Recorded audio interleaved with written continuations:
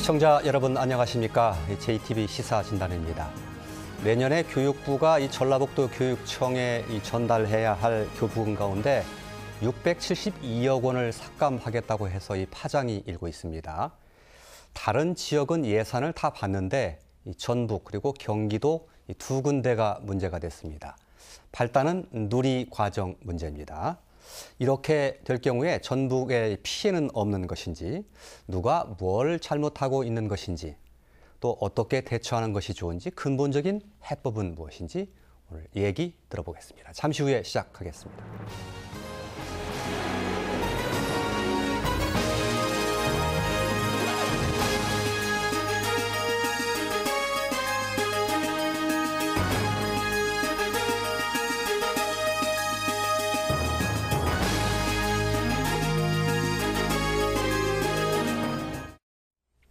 네, JTB 시사진단 오늘은 전라북도 교육청에 대한 예산 삭감 어떤 문제가 있는지 들어보겠습니다.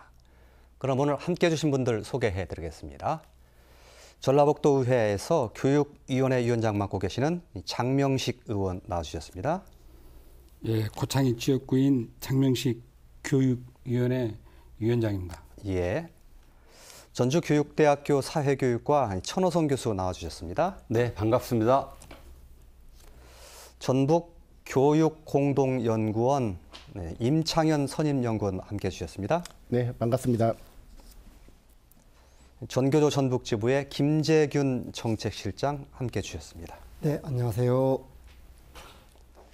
자, 토론 시작하기 전하여 오늘 토론 주제 짤막하게 요약한 화면 준비되어 있습니다. 보신 후에 이야기 시작하겠습니다.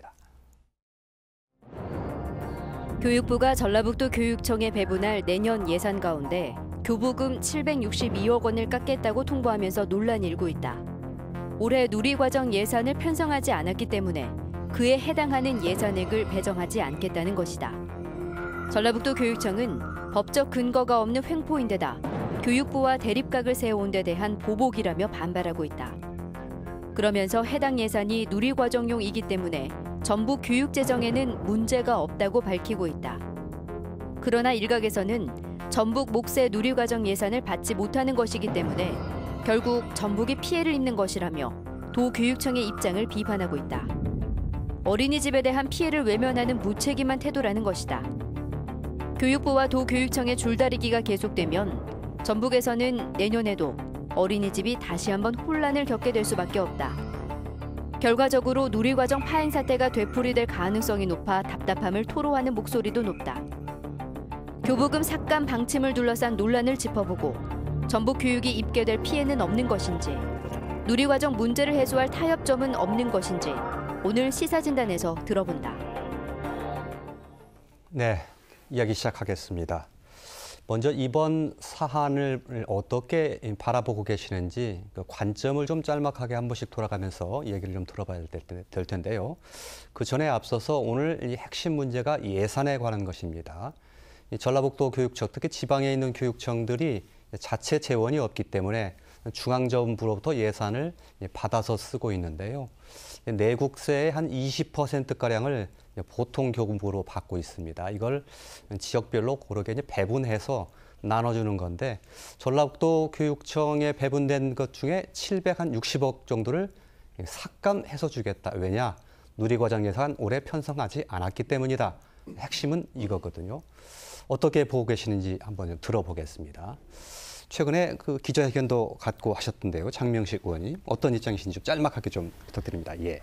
예, 이게 결국은 올 것이 왔다. 예. 아, 우리 김성환 교육감님이 교육부와 누리과정 예산 문제로 이렇게 갈등을 겪다가 결국은 내년도 교부금 762억 원을 못 받을 상황이 되었습니다. 이런 결과로 전북 교육이 피해를 보게 되었다는 점에서 참으로 안타깝고 답답한 마음이 우선 듭니다. 다만 교육부의 이런 방침은 좀 납득하기가 좀 어렵습니다. 교육감이 누리과정 예산을 편성하지 않아서 관련 금액이 남았다고 보는 것인데 이미 그 돈은 다른 교육 예산으로 다 사용했기에 교육부의 논리는 현실을 외면한 억지 주장입니다. 더욱이 예산이 감액되어서 내려오면 우리 의회가 갖고 있는 교육청에 대한 예산 심의권을 행사할 수 없다는 점에서도 지방의 예산 심의권을 침해하는 문제도 발생하게 돼서 매우 유감스럽고 잘못된 방침입니다. 예. 다른 분들 얘기도 좀 한번 들어보겠습니다. 예, 천 교수님 들어볼까요? 예. 네, 아주 좀 답답한데요. 또 예. 누리 과정인가라는 그런 생각이 드는데요. 예. 일단은 정부가 법을 지키지 않고 하는 저는 행위라고 그렇게 생각을 합니다. 지방자치법에 보면은 예산 배분을 총액으로 주게 돼 있는데 그 지방교육재정 교부금에 대해서 특정하게 자기들이 이 돈은 어떻게 써라 이렇게 규정하는 것 자체가 문제입니다. 그리고 어 지금 그 누리과정이 원래 만들어질 때 교육적인 문제로 교육감들하고 협의해서 만든 게 아니라 잘 아시다시피 대선 총선을 겨냥, 겨냥 해서 정치적인 문제로 태동된 일입니다. 정치적인 문제로 태동해서 또 더군다나 예산의 그 계상을 잘못해서 약 10조 원 정도 돈이 원래 그 기획재정부에서 계획했던 것보다 돈이 적게 받아졌잖아요. 거쳐졌잖아요. 그런 문제 때문에 이런 상황이 발생했는데 이거를 그냥 정치적으로 풀려고 하지 않고 교육감에게 떠넘기는 이런 행위이기 때문에 법도 교육부가 지키지 않고 이런 상황은 현재 사회에서 문제가 되고 있는 갑질 행태의 대표적인 사례라고 생각을 합니다. 그래서 이거는 반드시 철회돼야 된다고 생각합니다. 예. 또 어떤 분이 좋습니다. 김재규 씨좀 들어볼까요? 예, 뭐 일단 어린이집 누리과정 예산 자체가 어, 사실 보육이기 때문에 교육과는 전혀 무관합니다. 그렇기 때문에 당연히 전라북도 교육청에서 예산을 편성할 이유가 하나 하등의 이유가 없습니다. 그럼에도 불구하고 그동안에 교육부는 정부는 막 막가파식으로 막무가내식으로 그냥 무조건 편성해라. 안 하면 너희들한테 불이익 주겠다. 이렇게 지금까지 해왔었거든요. 그런데 이제 법적으로 도저히 할 수가 없는 부분이었, 부분이었던 것을 교육부의 일방적인 명령에서 추진이 되어 왔는데 당연히 거부를 했어야 맞습니다. 실제로 거부를 잘 하였고요. 근데 이 거부를 했다는 이유만으로 2017년도 보통교부금을 총액으로 배분하도록 되어 있습니다. 분명히. 그런데 762억 원이라는 누리과정 부분만 쏙 빼서 주지 않겠다라는 것은 스스로가 총액 배분의 원칙에 예, 법을 위반한 것이다. 그래서 법을 가장 먼저 지켜야 할 교육부가 오히려 정부가 법을 가장 먼저 위반하고 있다. 바로 이런 것들이 사실 이 정권에 들어와서 그동안 쭉 끊임없이 이루어왔던 거거든요. 그것이 결국 요즘에 와서 분노로 많이 표출이 되고 있는 건데 아무튼 이 부분은 지금이라도 어, 교육부의 생각을 바꿔서 어, 어린이집 예산은 사실 전라북도 교육청과는 무관합니다. 시도 일반 지자체에다 넘겨주고 그리고 전라북도 교육청을 말 그대로 교육에 유초 중고에 사용될 수 있는 예산을 보통 교부에 맞게 내려줘야 된다 이렇게 생각합니다. 예, 임창현. 음, 지금 저는 이제 그 누리과정 예산 자체를 어린이집에 지원하는 거에 대해서 이 법률적인 문제는 상당히 논란이 많이 있긴 하지만 지원하는 것에 저희 법적인 하자는 그 상당히 어떤 애매모호한 부분이 있지만은 법, 적법하다라고 생각을 하고 있습니다. 왜냐하면은 지금 저는 그 지금 유치원하고 어린이집하고 사실 교육 과정이 똑같은 내용으로 교육을 하고 있습니다. 그럼 결국에는 지금 앞으로 어떤 그 법이라는 것 자체도 어떻게 보면은 그, 그 앞으로의 어떤 지향점을 바라보고 판단을 해야 되는 거거든요. 결국 봤을 때 어린이집이 하고 유치원하고 유보 통합을 앞두고 있는 마당에 나중에 이제 보육기관이니까 예산을 지원하지 못하겠다. 이런 것 자체는 그 실질적으로 교육이 이루어지고 있는데 교육 예산 그 교육 영역에 대해서 전라북도 교육청이 스스로 포기하는 것이 아닌가라는 우려가 있고요. 지금 2013년도에도 보면 김상욱 교감님이 이런 그 지방자치법에 따른 소송을 교육부에 한 내건 적이 있었습니다. 당시에 패소를 했었습니다. 패소를 했었는데 그 이제 이런 그 어떤 여러 가지 교육감님의 어떤 소신이라든지 어떤 여러 판단 이 자체를 가지고 물리적으로 행동을 하는 것 자체는 좀 문제가 있다고 생각을 합니다. 오히려 이런 문제가 있다라면은 소송을 한다라든지 아니면 정치권이라든지 여론에 호소를 해가지고 도움을 요청하는 것이 좀 합리적이지 않겠는가 그런 그 좋은 방법이 있지 않겠냐는 생각이 들고 교육부가 지금 이번에 이제 그 예산 부분에 대해서 지금 삭감 조치하는 부분에 대해서 사실 여러분들하고 좀 같은 의견을 가지고 있습니다. 예, 네. 알겠습니다. 그 누리과정 예산을 도교육청에서 편성하느냐 하는 게 맞냐 그렇지 않느냐는 약간 생각이 다르신 것 같은데 그건 나중에 좀 더 혹시 시간이 남으면 따져보기로 하고요. 어쨌든 네 분의 그 말씀이 공통적인 것 중에 하나는 교육부가 지금 그 예산을 삭감하기로 한 것은 매우 잘못된 것이다라는 데는 매우 다 예, 동의를 예. 하시는군요. 예, 예. 어쨌든 총액으로 예산을 교부금을 내려보내주면 그 예산을 편성하는 권한은 교육감 이 가지고 있는 거고 또 그걸 심의할 권한은 도의회가 가지고 있는 것인데 그중에 일부분을 떼어서 내려보내주지 않는 것은 상당히 위법적인 요소가 다분하다 이렇게 어, 다들 동의하고 계시는 거죠. 예. 어, 그건 그렇게 정리를 하기로 하고요. 그렇다면 음, 이렇게 만약에 그 이게 현실화 될 경우에 전라북도에는 피해가 없는 건가? 아, 또 하나는 전라북도 교육청에는 그런 문제가 없나? 이 두 가지를 좀 짚어봤으면 좋겠는데요.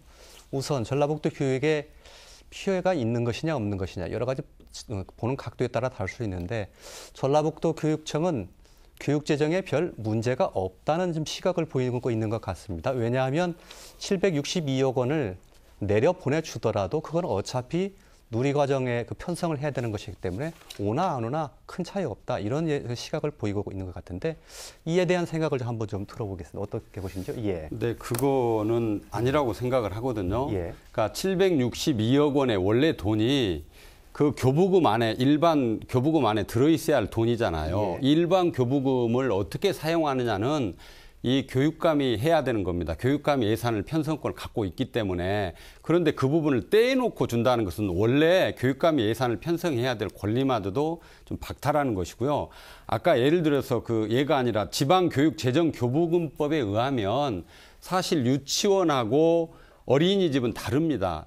우리 기- 지방 교육재정 교부금법에 교부금법에 의- 의해서는 교육기관이나 교육행정기관에다만 쓸 수 있어요, 이 돈이. 그렇기 때문에 유치원에는 쓰는데 어린이집은 쓸 수 없는 거 아니겠어요? 그렇게 해서 이 문제가 쭉 어, 진행됐는데 예를 들어서 아까 말씀하셨지만 지금 전북 사대부고 같은 경우요, 교육기관입니다.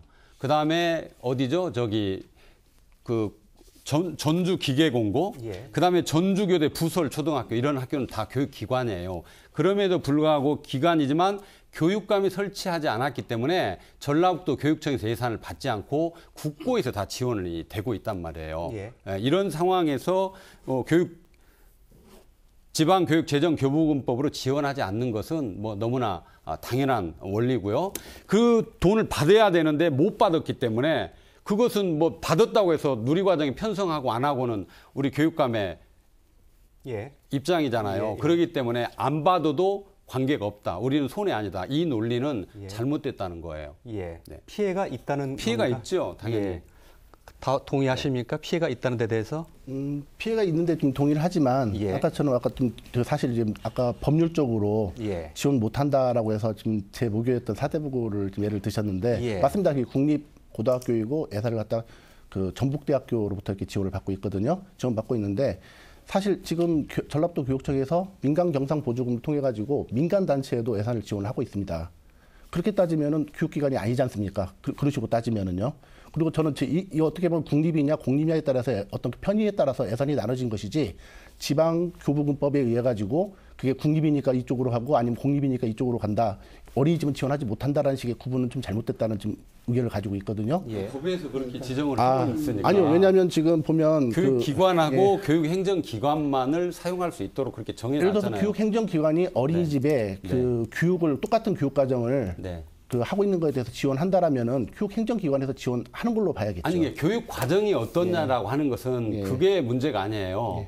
전라북도에 있음에도 불구하고 사대부고랄지 그다음에 기계공고랄지 교대 부설 초등학교랄지 이런 것은 교육기관임에도 불구하고 지원의 법에 의해서 지원이 안 되는 거예요. 국고에서 지원을 받고 우리 지방 지- 교육재정 교부금은 거기를 지원할 수 없다는 것이죠. 그런데 그걸 벗어나 가지고 교육부 소속인 유치원은 괜찮지만 보건복지부에서 관리하고 있는 어린이집까지 지원하라는 것 자체가 법률 위반이기 때문에 거기까지는 지원할 수 없다는 것이죠. 우선은 지금 아 예, 제- 죄송 제가 다음에 하시죠. 다시 예, 예, 하겠습니다. 예, 예. 반박하겠습니다. 예. 이게 실은 김성환 교육감님이 말씀하시는 법의 맹점입니다. 법에 잘못됐다는 얘기예요. 왜냐하면 에, 유치원은 우리 교육부 소관이니까 유치원은 지원이 되고 어린이집 은 지원이 안 된다는 얘기예요. 다시 말해서 3에서 5세는 똑같이 내가 유치원에 가면 지원을 받고 어린이집을 가면 지원을 못 받는 상황이요. 이게 예. 그러면 어린이집은 왜 그러냐면 어린이집은 보건복지부 소관이요. 예. 유치원은 교육부 소관이요. 그래서 소관이 다르니까 못 온다는 거예요. 예. 그러는데 실질적으로 소관이 다르더라도 우리 아이들이 교육을 받을 수 있는 권리, 권리는 사무소에 다 똑같아요. 예. 그래서 실질적으로 이것은 편을 가려면 에, 교육부와 우리 자치단체에서 책임져야 할 것을 편을 갈리면 이게 음. 손해가 없다는 얘기가 맞습니다. 예, 예. 하지만 우리 교육을 책임지고 있는 전북 교육을 책임지고 있는 우리 수장께서는 이것이 책임이 없다고 하면은 이것은 법의 맹점 다시 말해서 이 법을 좀 잘못 제정은 돼서 문제가 있는 것이지 예. 법과 규정만 따르다 보면은 실질적으로 자치단체장은 우리 교육의 수장은 법과 논리만 따르자면 하지 말자는 얘기가 거의 같습니다. 예. 법과 규정이 아니고 내가 어떻게 해서 전라북도민 어린이들 교육을 좀 시킬 수 있는 것인가 이것만 생각해야 된다고 생각합니다.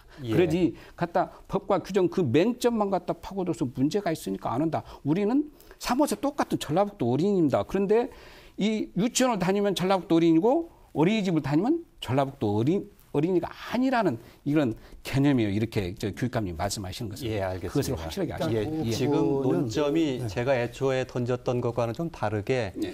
이게 누리과정 예산을 전라북도 교육청이 편성하는 것이 옳느냐 그렇지 않느냐의 얘기로 흘러고 있는데요. 어찌됐건 여기까지 얘기가 왔기 때문에 그 부분 바로 들어가고 지금 진행하는 대로 계속 하기로 하죠. 김정희 실장님께 드리겠습니다. 예. 예. 일단 보육과 교육의 차이를 좀 아셔야 할 것 같습니다. 서로 예. 우리가 예. 일단 그 어린이집은 보육기관으로서 어, 영유아 보육법에 의해서 설치가 되어 있습니다.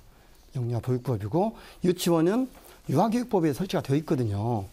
근데 영유아 보육법에 따르면은 보건복지부와 일반 지자체입니다. 아까 우리 장명식 의원님 말씀하신 것처럼 어린이집에 다닌다는 이유로 피해를 봐서는 안 됩니다. 당연한 얘기죠, 그거는. 그렇, 그렇다면 어린이집 예산의 보육 누리과정 예산은 일반 지자체한테 줘야 된다.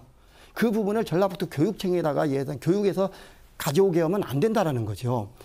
그래서 2012년부터 이게 어, 누리 과정이 시작을 했는데 원래는 어린이집 보육 예산은 당연히 일반 지자체로 보내야 맞은데 다만 아까 우리 임창현 연구원께서 말씀하신 것처럼 궁극적으로는 어린이집과 유치원 유아 보육 유, 어, 유보 통합을 전제로 하면서 그 어린이집에 사용될 누리과정 예산을 따로 별도로 보통 교분과 별도로 줬습니다.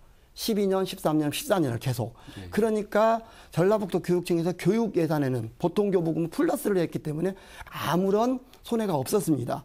그런데 2015년부터 아까 우리 전호성 교수님 말씀하신 것처럼 재원이 부족해서 그런지 모르겠지만 2015년부터 어린이집 보육 예산 자체를 그동안에 교육청에 너희 줬으니까 너희가 계속 편성해라. 이제 못 주겠다. 예. 라고 하면서 보통 교부금에다가 거기에서 알아서 쓰라고 한 겁니다.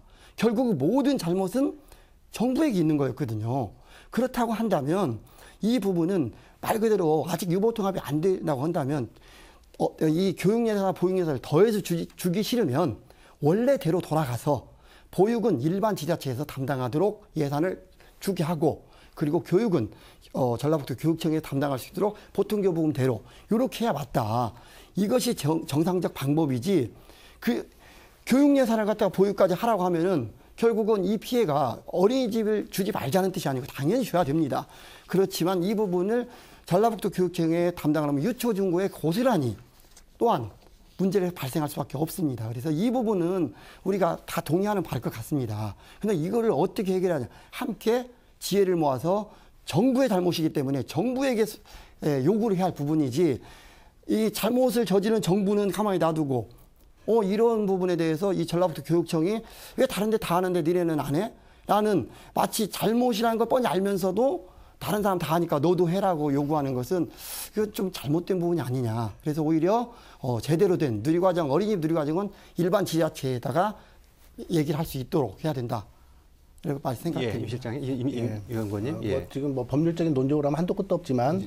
사실 지금 시행 그 유아 교육법에 보면은 연령대로 해가지고 규정이 돼 있습니다. 그 무상교육 부분에 대해서요. 그다음에 시행령. 예, 그렇죠. 네, 아니 아니요. 유아교육법에는 연령으로 돼 있습니다. 아니, 유아교육법 법에도 그다음에 네. 시행령에 보육원까지 나와 있고요. 예. 이번에 2014년도에 그 유아교육법에도 사조에 보면은 유아 그 유아 교육과 보육의 그 연계성이 그 되는 항목으로 이 사조 자체가 다 네, 연계성으로 네, 지금 나와 있습니다. 이제 그 사실 그 지방 교부법 가지고 나름대로 이거 된다 안 된다를 논하고 있지만 또 다른 또 법은 사실 지원되는 걸로 되어 있거든요. 그렇지 아니요. 육아 보육이죠. 음, 어린이집하고는 다르다는 거예요. 왜 어린이집에 어린이집은 설치가 지금 이미 저는 좀 때문에 아, 그 부분에 대해서 한번 더 추가적으로 질문하고 싶은 게 있다면 공교육에 대한 개념을 사실 어떻게 보면 기존에 어떤 지금 초등 등그 교대에서 이제 초등 교사들 지금 그 양성하고 계시고요. 지금 그 나름대로 교사 나름대로 활동을 하셨었고 네. 여기에 보면 이 공교육이라는 부분들은 하나의 어떤 그 어떤 임용고시를 합격하는 사람들의 그 이- 이루어지는 형태를 갖다 공교육을 하지 않고 공적 자금이 투입된 교육 형태를 다 공교육이라고 합니다.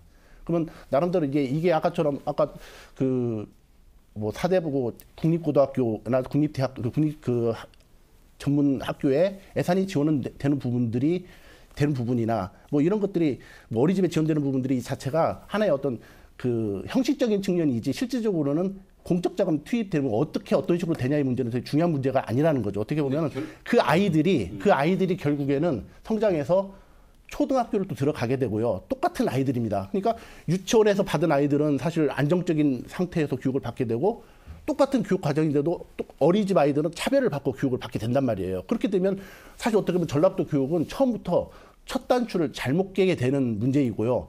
지금 급한 건 제가 지금 교육부를 지금 편드는 게 아닙니다. 교육부 분명히 잘못 있습니다. 잘못 있는데 그 잘못한 거 책임만 탓하고 전라도 교육청에서 손을 놓고 있겠다는 것 자체는 좋은 방법이 아니라는 거죠. 아니 그러니까 저희들은 저는 어떤 생각이냐면요. 그 어린이집을 지원해주지 말자 이런 개념이 아니라니까요. 교육감이 네. 돈을 써도 또 관리 감독하는 게 자기 마음대로 뭐 교육기관이면 다 하는 게 아닙니다. 법이 딱 정해놨어요. 교육감이 관리하거나 지도하거나 책임져야 될 부분이 딱 있고 어린이집은 보건복지부에서 하고 교육부 소속에 관련된 것만 교육감이 하게 돼 있다는 거예요. 아까 말씀 잘 했잖아요. 우리 김대균 실장님께서. 그래서 그런 형태로 계속 돈을 줬는데 그렇게 하다가 갑자기 확대하면서 그런 아니 거죠. 그렇지. 확대도 확대지만 갑자기 교육 예산에서 그걸 주라는 거예요. 그러면 교육부 우리 교육청에서는 어떻게 하겠습니까? 기존에 있는 다른 데 돈을 쓰는 데에서 줄 수밖에 없는 상황이 내몰리니까 지방채도 발행을 하게 해야 되고 지금 전라북도 교육청이요. BTL 그 사업하고 지방채 때문에 연간 200억씩 지금 이자를 내고 있습니다. 예. 엄청나게 재정 압박이 되고 있는데 그래서 시도교육청의 교육감들이 어린이집에 돈을 주지 말자는 게 아니라 이런 상황이기 때문에 원래 했던 국가의 그 어떤 계획에 따라서 그런 방식으로 돈을 주자 이렇게 했던 거예요. 그런데 그걸 일방적으로 무슨 소리냐? 너희들 시행령 만들었고 너희들 줘. 그걸 받아들일 교육감이 어떻게 되겠냐요. 그러면 그 돈이 어떻게 쓰냐면요. 사실은 주로 경직성 경비 돈 예산이 딱 예. 있는데 예. 경직성 경비는 뭐 인건비랄지 나가는데 어디에서 줄이겠습니까? 학교 운영, 운영 비, 심지어는 아이들 버스 노후화된 거 갈아주지도 못합니다. 노후시설 환경 같은 거 못 해줍니다. 그 돈 못 쓰고 762억 원을 고스란히 줘야 됩니다. 예. 원래는 그 돈을 일반 교부금으로 활용해가지고 교육청 돈으로 활용해야 되는데 그래서 교육감들은 거기에 대해서 반감을 하게. 되는. 장명식 의원님께 드리겠습니다. 예. 예. 이게 이게 법과 규정 논리를 하면 이게 한 세시간 정도 토론해도 어렵습니다. 실질적으로 저는 가장 편하게 우리 아이들이 이쪽에 가면 어떤 이익을 보고 이쪽에 가면 어떤 피해를 보는 것인가를 제가 잠깐 얘기하겠습니다. 제 아이가 똑같이 세살이에요 예를 들어서 세살이면 유치원을 가면은 혜택을 받습니다. 내가 별도 비용이 안 들이고. 그런데 누리과정 어린이집을 가게 되면 전라북 도민이 안 돼 버리는 거예요. 그 논리로 얘기하면 어느 순간에 예, 왜냐하면 교육감이 책임이 없으니까 보통 교육 교부금 다시 말해서 정부에서 내려온 20.27%를 갖고, 갖고 예산 편성을 하시는데 우리 교육감님은 그러면 우리 예. 지자체에서 해야 될 것을 우리는 못 얻었다. 그러니까 예산 편성을 안 하셔요. 예. 산 편성을 안 하니까 아이 거기를 갈 수가 없어요. 실질적으로 이번에 우리가 예, 도에서 약 한 180억 정도 교육부에 교- 교육청이 전출할 것을 에, 줄여서 지금 특별한 그건 또 법도 완전하게 돼 있는 것은 아닙니다. 예. 그것을 갖고 우선 아, 7만 원을 갖다 막는데도 참 어려움을 겪었습니다. 예. 그런데 전체적으로 내년부터서 762억이 이게 삭감이 된다면 예. 이것은 엄청난 파장을 몰고 옵니다. 그래서 교육의 수장은 3, 5세가 유치원을 가도 내 새끼고 또 다시 어린이집을 가도 똑같은 내 새끼란 말입니다. 예. 근데 여기에 가면은 전라북도 사람이 아니니까 못 받고 똑같은 내가 전라북도 사람인데 그런데 여기에 가면 전라북도 사람이니까 받고 이런 모순이 발생돼요. 물론 예. 법과 규정은 맞지 않습니다. 그렇죠? 근데 이런 것들을 갖다 이, 이 자치단체장은 어떻게든지 실리로 나가야 된다고 예. 봅니다. 예. 실용이 최고지 실용이 안 되면은 정말 우리가 어려운 것입니다. 다시 말해서 어떤 모임이나 단체에서는 내 이익을 위해서 주장을 할 수는 있어요. 예. 그렇지만 에, 교육의 수장은 전라북 도민들은 어떻게든지 조금이라도 한 푼이라도 더 가져오는 교육의 수장을 원합니다. 예. 다른 것보다 피해를 보는 교육의 수장을 원하는 것은 아니에요. 예. 그래서 다른 시도 전부 다 15개 시도는 다 했는데 에, 전라북도고 경기도만 하지 않다 보니까 이렇게 미군 태를 바뀌어서 모든 알겠습니다. 경비를 당 이렇게 예. 적게 받는 상황이 발생됐습니다. 예, 이번 사안을 바라보는 근본적인 시각차의 핵심을 아마 장명식 의원께서 말씀을 해주시지 않았나 싶은 생각이 드는데요.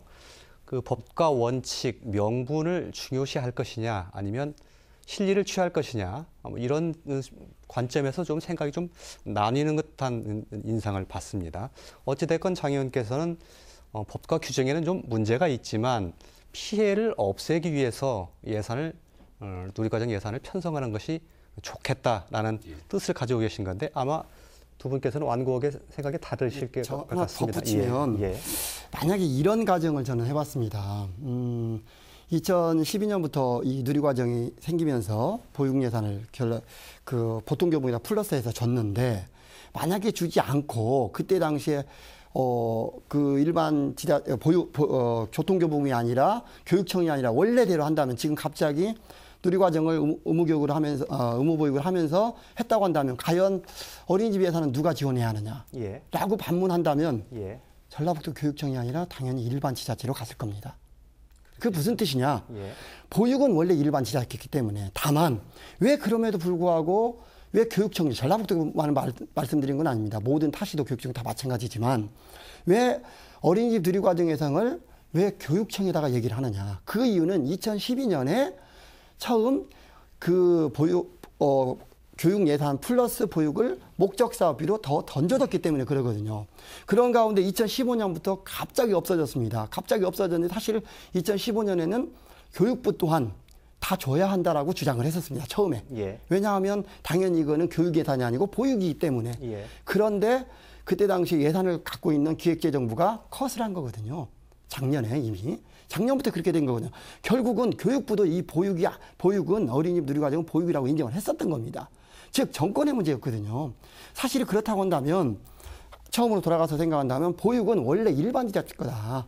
일반 지자체에다가 얘기를 해야 할 부분이었다, 처음부터. 그런데 처음 매듭이 실을 잘못 꿰다 보니까 마치 교육청에서 잘못한 것처럼 전부 다 그 화살이 온 것 뿐이지, 사실 교육청은 잘못이 없는 거거든요. 지금 사실 총을 맞고 화살을 맞고 있는 것 뿐이다. 예. 그러면 이제라도 제자리를 돌려야 한다.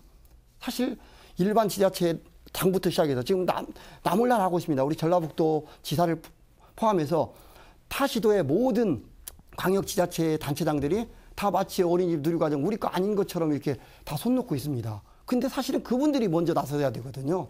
그래서 이 부분 너희들이 책임져라. 저, 처음 너희 박근혜 정권이 공약에 들었던 거 아니냐라고 해야 되는데 마치 이런 내용의 어린이집과 교육청과의 싸움으로 번, 이 번지게 되면서 또한 일반 지자체는 가만히 뒷, 뒷짐만 지고 있는 이 모습이 좀 안타깝다. 사실 오늘도 교육감에게 모든 책임을 전라북도 교육감만 두고 드리는 얘기는 아닙니다. 하는 것은 좀 너무 지나친 거 아니냐. 일반 지자체장도 문제가 있다라는 말씀드립니다. 예. 한 가지. 예. 네. 그러니까 왜 그러면 교육부가 이렇게 예, 교육감들을 압박을 하고 국가가 그러는가? 사실은 돈 문제만이 아니라 저는 여기에 아주 숨어 있는 것 중에 하나가 다른 지방 자치단체하고 달리 교육감들이 상당히 진보 교육감들이 많습니다. 그래서 뭐 역사 교과서 왜곡 저기 국정화하는 것도 마찬가지겠지만 교육감들이 이거 지방자치단체로서 국가의 어떤 그 정책이나 이런 것들을 그대로 수용하지 않고 자체적으로 합니다. 특히나 복지 프레임에서 우리 전라북도 같은 경우는 가장 먼저 전국에서 무상급식을 하면서 상당히 그 좋은 정책으로 자리 잡았거든요. 아시다시피 2012년에 대선과 총선 오면서 이 복지 프레임이 굉장히 예. 얘기가 되다 보니까 이거 예. 활성화 안 할 수가 없었다는 예. 거예요. 그래서 또 실제적으로 저출산 고령화 시대에 이 보육 문제도 국가가 나서서 해야 된다는 어떤 그 어떤 논리하고도 이게 딱 맞아지면서 그렇게 만들어지게 됐거든요. 그래서 진보 교육감들을 길들이기를 하기 위해서 굉장히 노력을 합니다. 그래서 감사를 여러 번 했어요. 감사해서 예산에 혹시 누리과정에 사용할 수 있는 돈이 있나 없나를 막 찾아봅니다. 그래서 교육감들이 재량으로 할 수 있는 여러 가지 사업들에 대해서 예. 이렇게 브레이크를 걸고 그래서 교육감들이 어떤 자기들이 지방자치자 단체장은 스스로 어떤 공약을 내세우고 그걸 시행하는 게 당연하잖아요. 그럼에도 불구하고 지방 자체 여러 가지 정책들을 그 못하게 하는 아주 이 안에서 그 못된 하여튼 그 교육부의 어떤 것들이 좀 작용했던 것도 우리가 잊어서는 안 됩니다. 예. 지금 네. 아, 예, 말씀하시죠. 예. 지금 사실 그 교육부가 지금 잘못한 행태에 대해서는 지금 누구나 다 공감하는 얘기입니다. 이야기인데 지금 이 자리는 사실 해법을 찾아야 되는 자리이거든요. 예. 지금 어 책임 교육감도 책임 없다, 도지사도 책임 없다. 그럼 누가 책임을 져야 되냐는 문제가 또 생기는 거거든요. 그리고 지금 당장 좀 여기 두 분 계시지만은 두 분이 좀 미래적으로 좀 생각을 하셨으면 좋겠습니다. 지금 당장에 이 2016년도 근거로 해가지고 예산 이번 예산을 다 삭감하겠다고 했거든요. 그게 2016년도 편성하지 않은 걸 가지고 2017년도 예산을 삭감하는 겁니다. 이렇게 되면 나중에 나중에 차기의 정권이 어떻게 바뀔지 모르지만 이 예산은 삭감된 상태에서 차기 정부로 넘어가면 뭐 수급 적용이 안 되는 예산입니다. 결국에는 이 전라북도 아이들은 전체적으로 이제 유, 이 어린이집뿐만 아니라 초중등 교육까지도 다 피해를 볼 수밖에 없는 상황인 거거든요. 그래서 저는 이 부분에 대해서 누가 잘못했다, 잘했다 이걸 따지는 게 아니라 지금 당장 어려움에 처해 있는 지금 이 지금 어, 이 난국을 어떻게 풀어 나갈 것인가에 대해서 좀 고민을 좀 해봤으면 좋겠다라는 거죠. 예. 그러니까 예. 받지 말아야 될 돈이지만 그걸 전북을 위해서 받아야 된다고 생각하는 거죠. 예. 네. 그러니까 김성환 교육감은 그 점이 이제 본인에게도 딜레마이고 힘든 거라고 생각을 합니다.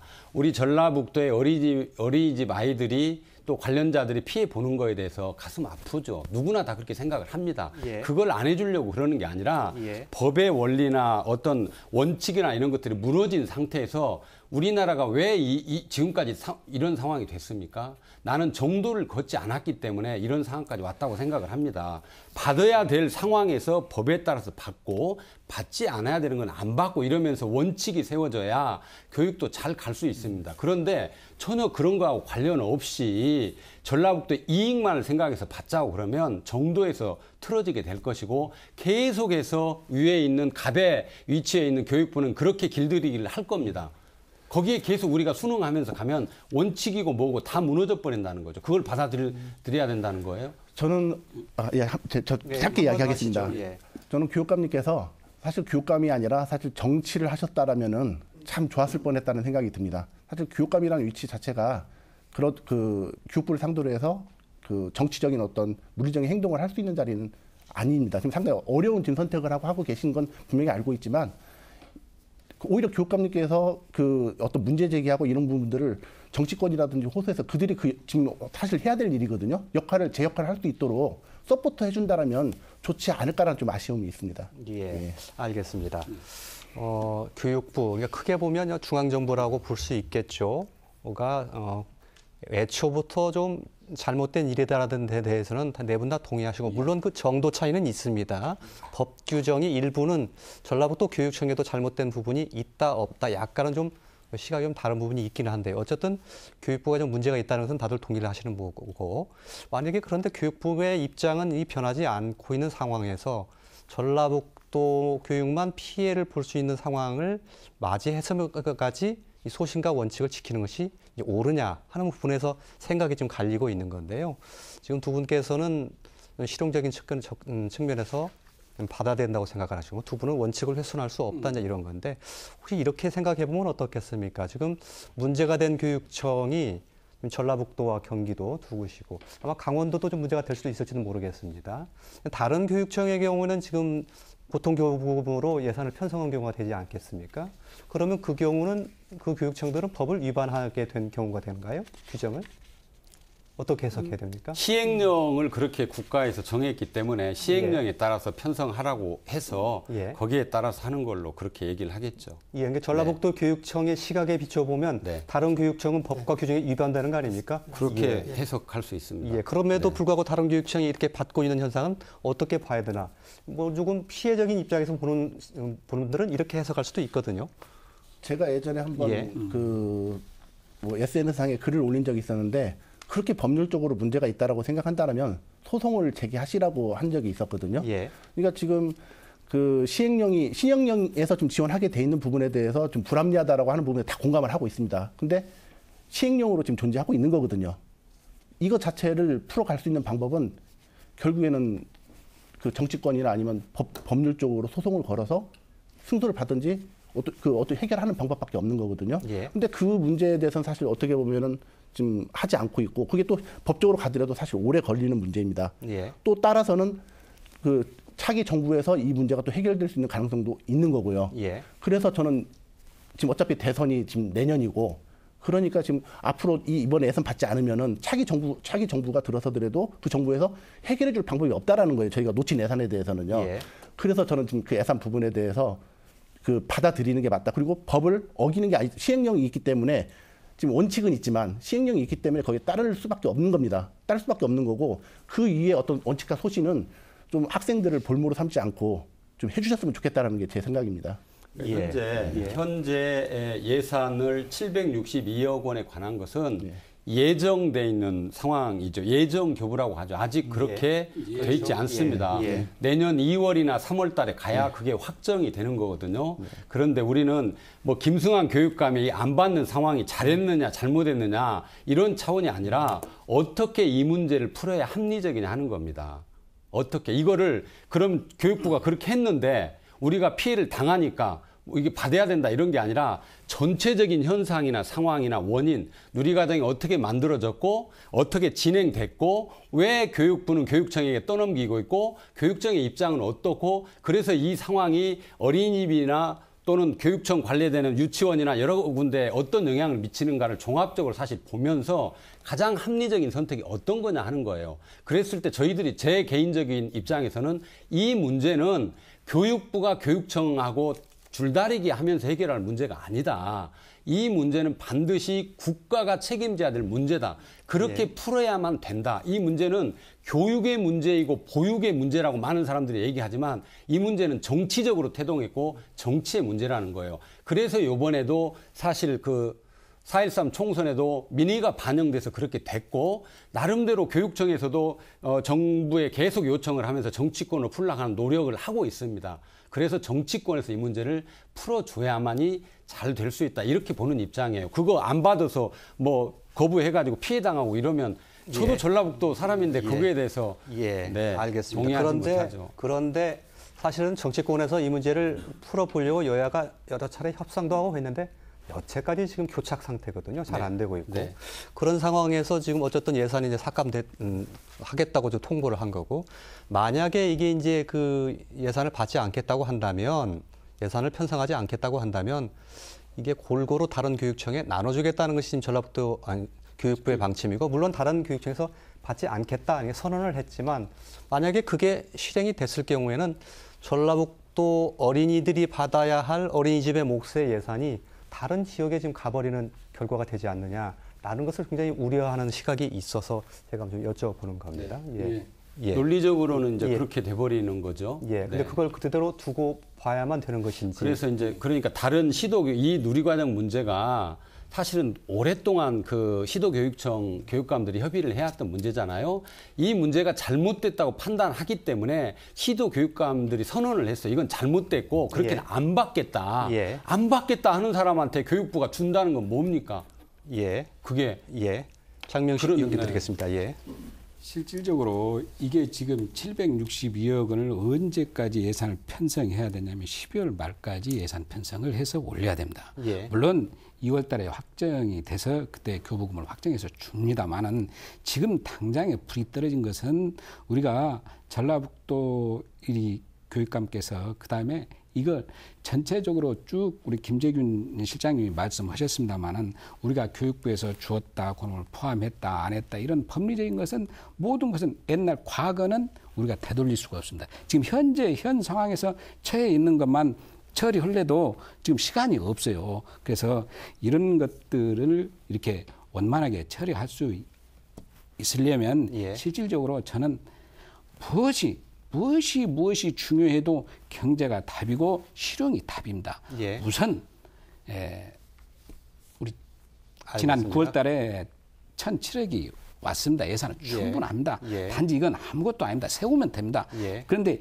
이 예산 편성권은 교육감만 있어요. 예. 교육감께서 안 세우니까 이것이 안 되는 거예요. 예. 그래서 교육감님 이것은 예산을 먼저 세우고 난 다음에 우리가 나중에 법이 틀려, 틀렸으니까 소송을 해서 이렇게 불이익을 주, 주겠다고 했는데 이런 것은 정부가 잘못됐다. 그것은 나중에 좀 판단을 하자 이 말이죠. 예. 우선 지금 그 7만 원 안 줘 가지고도 정말 고통받아갖고 예. 그 어린이집 원장 선생님이 저 한 달 전에 저한테 한 번 왔어요. 예. 뭐라고 오셨냐면 원장 선생님 오시다가 자기 어린이집을 폐원을 하고 다른 곳에 누리과정 예. 교사로 갔어요. 예. 선생님 예. 유치원 선생님으로 예. 갔는데 자기도 그것을 잘 알잖아요. 예. 그 정부로부터 지원을 못 받는데도 불구하고 그분이 그, 그 본국을 받을 때는 항상 마음이 죄송하고 미안한 마음이 든다고 하면서 울먹일 때 예. 저도 정말 그 일만의 책임을 느꼈, 습니다 왜냐하면 교육위원장으로서 그런 현장의 그 생생한 경험을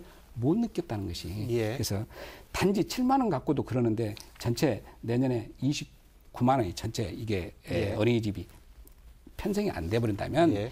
이건 엄청나게 알겠습니다. 큰 반향이 예. 일어날 수밖에 그런 없습니다. 실용적인 측면은 측면은 아마 두 분께서도 충분히 인지를 하실 예, 예. 텐데요. 이제 두 예. 분의 말씀은 적어도 그 원칙 같은 걸 굉장히 중요시해야 되는 이 교육의 수장이 그런 걸 훼손하게 된다면 아이들에게 무엇을 가르치겠느냐. 사실은 이런 그 논리와 명분도 있, 는 거거든요. 그 부분은 어떻게 보십니까? 아이들에게 오히려 그런 걸 모범을 보여줘야 되는 거 아니냐.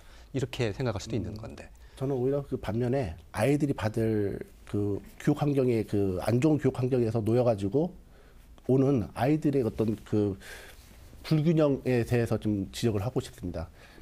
어린이집 아까 제가 처음에 말씀드렸듯이 어린이집에 다니든 유치원에 다니든 다 초등학교에 똑같이 입학을 합니다. 근데 여기 유치원에서는 나름대로 선생님들이 정서적으로 안정된 상태에서 아이들을 대하게 되고요. 어린이집 선생님들은 상당히 지금 불안합니다. 그리고 지금 벌써 200여 명이 넘게 지금 그 일자리를 잃었습니다. 이 사태로 빌미해가지고요. 그리고 아이들도 선생님들 가르치는 입장에서도 그 아이들한테 얼마만큼 이 불안한 마음에서 아이들 때잘 해줄 수 있을지 이 부분도 지금 걱정이 되고 예. 아이들은 분명 그 자체를 그대로 느끼게 되는 거거든요. 예. 여기에서 교육감님의 그 상당 사실 어떻게 보면 상당히 깊은 그 원칙, 그 소신 이거 아이들한테 어떻게 보면 교육적인 측면에서 이런 부분보다 사실 더 상처받는 게 더 크다라고 지금 생각을 하고 있고요. 예. 사실 그 원칙 그, 그 교육감의 그 원칙과 소신이라면 저는 그 원칙과 소신이 어떤 법도 헌법에서 그 이야기하는 것처럼 기회균동안 교육 기회를 제공해줘야 된다. 이 그 자체가 교육의 본질이다. 이게 원칙이다라고 말씀을 드리고 싶습니다. 예, 아이들이 일단, 받을 예. 상처를 생각해보자는 말씀이신 예. 김재규 실장님 드리겠습니다. 예. 지금 모두 동의하는 부분은 현재 정부의 에, 불이한 잘못된 어떤 그 시도 교육청에 대해서 이런 부분에 의해서 이루어졌다는 예. 걸 모두 동의를 하는 것 같습니다. 예. 그다음에 잘못된 부분에 대해서 과연 우리는 뭘 해야 하느냐? 예. 아까 어, 사회자께서 말씀하셨지만 불이한 명령을 드려야 하느냐? 그건 아니라고 봅니다. 불이가 법이라면 저항은 당연히 함께 해야 됩니다. 실제로 어, 전라북도 762억 감액 교부하겠다라고 얘기를 했고 어, 사실 경기도는 훨씬 많은 오, 거의 6천억 가까이를 지금 감액 교부하겠다고 하지 않았습니까? 경기도는 의외로 경기도 의회 교육위원회는 그 거기에 대해서 기자회견을 했습니다. 정부 잘못됐다. 지금 다시 제대로부터 내려보내라. 예. 라고 요구했습니다. 예. 이게 맞다. 지금 현재 박근혜 정권이 그동안 4년 가까이 오는 동안 얼마나 많은 어, 민중들에게 그 핍박을 했습니까? 이거에 대해서 지금까지 계속 저항하지 않으면, 않으면 안 된다. 예. 지금 촛불이 일어나고 있는데 중고등학교 초등학생이 나오고 있습니다. 이게 나라냐라고 하고 있습니다. 예. 그런데 이게 나라냐라고 하고 있는데 아니야. 이러다가 너 다치면 안 돼. 넌 들어가. 이게 과연 옳은 교육이냐는 얘기죠. 예. 그건 아니라고 봅니다. 예. 지금 김승환 교육감에 대한 얘기가 아니랍니다. 여기 이 자리가 김승환 교육감을 타켓을 삼냐한 이런 부분을 잡지 마시고 정부가 잘못된 보육 예산을 그동안에 차라리 여기다가 그 목적성 경비로 보통 교부금 플러스 준다고 한다면 충분히 이건 감안할 수가 있습니다. 전혀 예. 어 우리 초중고 유초중고 아이들한테 예산에 어떤 예. 교육, 교육에 대한 질을 하락시키지 않으니까 그런데 원래 있는 돈을 가지고 이렇게 편성하지 않으니까 거기에 대해서 압박하고 잘못하니까 또 다른 부분은 또 이렇게 공격하고 예. 이런 건 분명히 잘못했다는 거 우리 모두 동의하는 겁니다. 아마 이 부분 동의하지 않는 사람 은 아무도 없어요. 그렇다고 한다면 그 부분에 대해서 우리는 어떻게 하느냐? 예. 그거는 함께 싸워야 된다. 예, 알겠습니다. 잘못된 시간이 좀 많이. 흘러서 제가 좀 정리를 해야 될 것 같은데요. 한 가지만 좀 여쭤보겠습니다. 이 가정이긴 합니다만 교육부가 방침을 바꿔서 예를 들면 그래 762억 원 전달하겠다라고 한다면 사실 전라북도 교육청은 그거 받아서 누리과정에 편성 안 하는 거 아니지 않, 안 하는 거지 않습니까? 그렇죠. 그렇죠. 맞습니다. 그러면 예. 우리 집은 어차피 또 다시 피해를 입게 되는 거죠. 그 어린이집에 대한 부분 아까 말씀드린 것처럼 별도로 예. 어, 거기 예산을 어, 2012년 762억 13년 원 주고 네. 또그 외에 별도로 예산을 된다는 12년, 얘기죠. 13년, 14년에 계속 예. 줬듯이 예. 그런 것처럼 필요한 예산 760 플러스 760억을 또 주면 되거든요. 예, 예. 그렇게 정리하기로 하고 교육부가 태도를 바꾸지 않는다는 가정하에 어떻게 하는 것이 해법이라고 보시는지 한마디씩만 듣고 토론을 좀 정리해야 될 것 같은데 아마 전라북도 교육청이 음, 자세를 유연하게 바꿔야 된다는 쪽에 이- 어, 가- 음, 중점을 두실 것 같고요. 예. 우선은 지금 그 여당하고 야당에서 지금 그이 누리과정에 관련해서 지방 그 교부금법을 그 교육 교부금법 자체를 지금 발의를 그 개정 발의를 지금 해놓은 상태입니다. 여당과 야당이 해놨거든요. 예. 근데 좀 차이점이 있다라면은 여당은 그 교육세 국세 교육세를 갖다가 전환을 해서 특별 회계로 처리하겠다라는 거 아까 지적하신 대로 맞습니다. 지금 더 추가 예산이 지원되지 않는다는데 아예 강제를 하겠다라는 지금 의도이고요. 특별회계. 그렇죠. 예. 특별 회계를 통해 가지고요. 그리고 야당도 사실은 대안이 사실 없기는 마찬가지입니다. 예. 야당도 보면 우선은 그 특별 회계를 이야기를 하고 있지만 교육세를 갖다 전환하는 게 아니라 그 내국세 내에서 하되 예. 그 그걸 증액하자는 거죠. 증액보다는 제가 지금 쭉 그 항목을 읽어봤는데 예. 그 장기 차입을 거론하고 있거든요. 예. 좀 이런 상황에서 주시죠. 예, 예. 이런 상황에서는 지금 현실적인 대안이 지금 이게 대립을 하기보다는 당장 급한 부, 급한 문제부터 해결을 하고 예. 앞으로 이제 그 좀 건설적으로 좀 이좀 방향을 논의를 해야 되지 않을까 그런 생각이 듭니다. 예, 이렇게 제가 혹시 해석을 해도 되겠습니까? 교육감의 소신과 철학은 예. 그동안의 과정을 통해서 충분히 보여줬지 않느냐. 예. 이제는 좀 실용적으로 나서는 것은 어떻게 되냐. 이런 뜻으로 받아들여도 되겠습니까? 예, 알겠습니다. 손 교수님, 어떻게 해결하면 좋겠습니까? 그러게요. 제가 뭐 해결책을 제시할 수 있는 입장은 아니지만 예. 전라북도 교육청에 지금까지 해온 행태를 보면 분명히 받지 않을 거고 예. 어, 예산, 돈을 준 거에 대해서 누리과정 편성을 안 할 거라고 봅니다. 그래서 저는 이, 이 지금 교육 감들 전국 시도 교육감들이 말했던 그게 정답이라고 생각을 합니다. 예. 그들이 보여준 메시지가 전라북도에 그 돈을 주지 않는다면 예. 그 몫을 우리가 받지 않겠다라고 예. 하는 것은 전라북도를 주라고 하는 예. 얘기하고 똑같기 때문에 예. 그렇게 해야만이 예. 해결책이 된다고 생각을 합니다. 알겠습니다. 네. 그런데 다른 교육청은 받으면서 그렇게 한단 말이에요. 그래서 조금 다른 생각도 들긴 하는데요. 어, 김정윤 실장님, 장명식 의원님께 30초씩 짧게 해법에 관한 얘기를 좀 듣고 토론을 좀 정리하도록 네, 하겠습니다. 뭐 해법을 제가 제시하기는 어렵다는 것 같아 동의하긴 하는데 예. 다만 아까도 전제를 했지만 어, 현재 이 정권 하에서 너무나 많은 시행령 청구 막가파식 그런 결정들을 갖다가 어, 내려보이고 있는데 이렇게 잘못된 거에 대해서는 혼자는 거부감에는 당연히 당합니다. 마치 어, 현재 전북이나 경기처럼 마치 이두 사람이 잘못한 것처럼 이 주객이 전도되는 모습이거든요. 17개 시도 교육감이 똑같이 그렇지가 않다, 못하겠다라고 했다고 한다면 과연 교육부가 이렇게까지 할 수 있었겠느냐? 예. 못했을 거다. 마찬가지로 어, 우리 도의 교육위원장님 나오셨고 그리고 우리 저 연구위원도 오셨고 교수님도 오셨는데 뭐 교육단체뿐이 아니라 교의회, 전라북도 교육청 또 일반 지자체 할 것 없이 이번 분명히 대통령의 공약이다. 당연히 중앙정부가 책임져라. 한 목소리로 어, 모든 지자체가 함께 얘기를 한다면 충분히 이거는 따낼 수 있다고 봅니다. 그래서 그렇게 가야 된다. 저는 그렇게 말씀드리겠습니다. 예, 장관님. 예, 김재균 우리 정책실장님 말에 적극 동의합니다.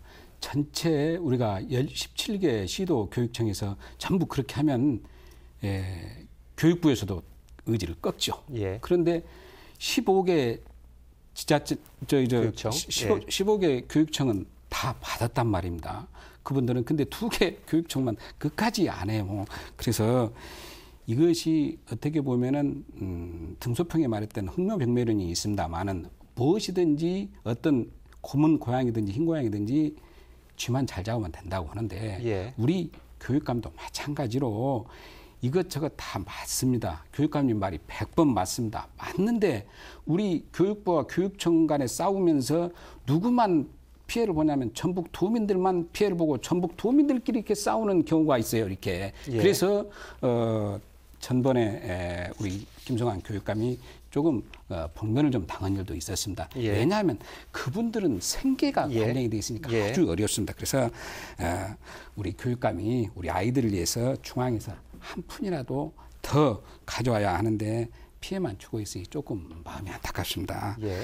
교육감은 우리 교육부 갈등으로 인해서 전북이 손해를 주는 것에 대해서는 조금이라도 조금 도민에게 좀 미안한 마음은 있어야 됩니다. 예. 지나친 소신이나 이런 고집 때문에 에, 우리 전북 도민이 손해. 보는 것은 버려야 된다고 생각합니다. 손해 보는 일이 없도록 하자는 예. 말씀이셨던 것 같습니다. 자, 762억 원 교부금 이 삭감 파장, 이 누리 과정으로부터 비롯된 일입니다. 이 지리한 누리 과정 문제 답답합니다. 그런데 분명한 게 내년에 또 이런 문제가 되풀이될 게이 명약화나 불후보도 뻔하다는 겁니다. 그래서 더욱 답답합니다. 토론 모두 마치겠습니다. 함께 해 주신 시청자 여러분, 고맙습니다.